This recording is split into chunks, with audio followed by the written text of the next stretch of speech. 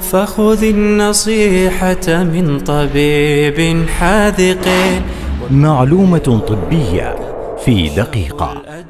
الحمد لله.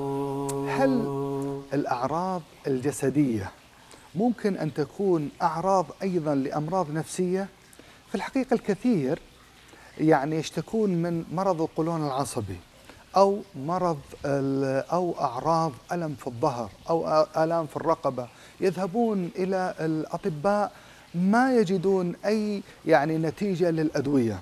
في الحقيقة أن الكثير من هذه الأعراض إذا لم يكن هناك سبب عضوي واضح وإذا لم تستجب للعلاجات العضوية يكون سببها مرض نفسي.